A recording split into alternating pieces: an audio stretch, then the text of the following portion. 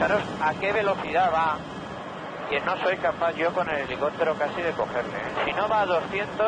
Esto es lo que pasaba hasta ahora con los helicópteros de la Dirección General de Tráfico. No llevaban radar incorporado, por lo que era imposible calcular la velocidad a la que circulaba un vehículo.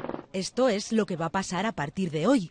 El helicóptero de la DGT detecta que este turismo va a 234 kilómetros por hora, este otro a 182 y este a más de 160. Este helicóptero lleva el sistema Pegasus incorporado. Es pionero en el mundo. Está tomando hasta tres medidas repetidas para cotejar, para validar el hecho de que el vehículo está infringiendo el límite de la velocidad y emite la sanción pertinente. Este nuevo helicóptero se va a sumar a las 18 aeronaves que la DGT tiene en España. De momento será el único con radar móvil, aunque está previsto que en un futuro lleguen a ser seis. Me parece bien, la verdad es que así a lo mejor la gente se conciencia un poquito de lo que hace. Me parece bien que lo hagan desde aéreo, porque seguro que lo harán para pillar, no lo harán por seguridad. El sistema Pegasus se utilizará principalmente en vías convencionales, sin separación física entre los carriles de ambos sentidos. En estas carreteras hay menos radares fijos y es más difícil establecer controles con vehículos.